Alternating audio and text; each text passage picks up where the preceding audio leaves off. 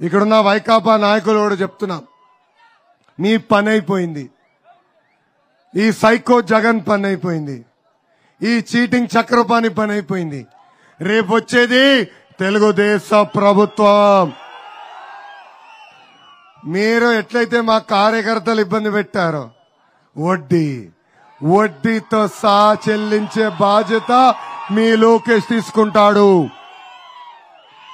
ఈ ఊసరవల్లి జగన్తో పోరాడాలంటే పిడికలు బిగించుకుని నేను దేనికైనా రెడీ అని చెప్పాలి. పోరాడతామా? పోరాడతామా? మళ్ళీ శ్రీశైలం గడ్డపై ఆ పసుపు జెండా ఎగరేద్దామా?